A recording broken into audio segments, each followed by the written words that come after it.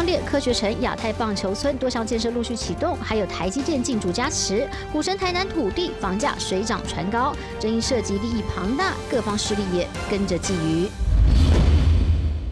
南科沿线永康、安南、安平区土地重化近年来飙涨三倍，善化、新市、安定，甚至还传出一日两价，大家都想分杯羹。再再不让他们插旗嘛，啊，他们就直接就是走过陆地啊，道路用地啊，然后然后你家就要跟买买那个道道路使用权，没买你不能使用啊，你就你就侵权啊，路权都都反而比旁旁边还要贵啊。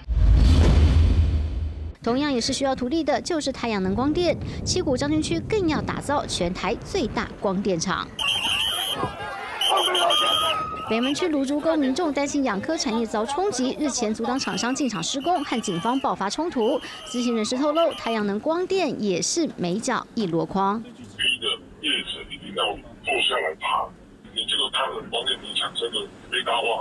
卖给台电的电钱可能是一度块钱、六块钱。那他会要求说，那你至少要一点五块钱人民币吧？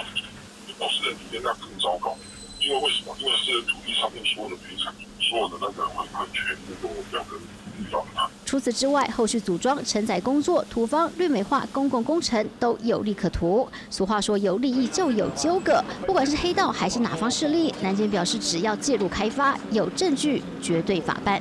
三立新闻，荣宏英如，台南报道。